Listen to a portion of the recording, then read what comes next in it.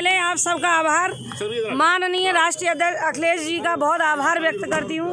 उन्होंने ये जिम्मेदार दी और माननीय जिला अध्यक्ष जी का आभार व्यक्त करती हूँ।